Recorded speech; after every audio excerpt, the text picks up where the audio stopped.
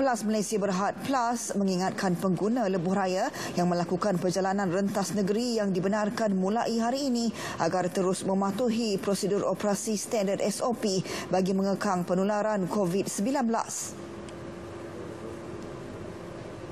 Plus dalam kenyataannya menasihati orang ramai antara lain supaya memakai pelitup muka dan mengamalkan penjarakan fizikal serta mendaftarkan diri menggunakan aplikasi My Sejahtera apabila singgah di kawasan rehat dan rawat RNR, hentian dan restoran jejantas di sepanjang lebuh raya.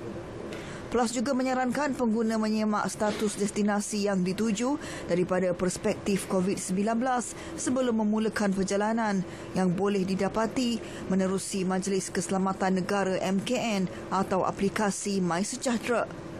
Pengendali lebuh raya berkenaan turut mengingatkan orang ramai agar menambah nilai kad tak cenggo lebih awal dan memastikan baki mencukupi sebelum memasuki lebuh raya.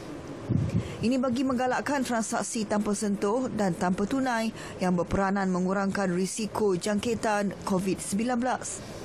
Orang ramai juga dinasihati memuat turun aplikasi Plus untuk pelbagai urusan yang memudahkan perjalanan termasuk membuat pra pesanan makanan di RNR terpilih bagi mengurangkan masa menunggu dan beratur membeli makanan selain menjaga penjarakan fizikal.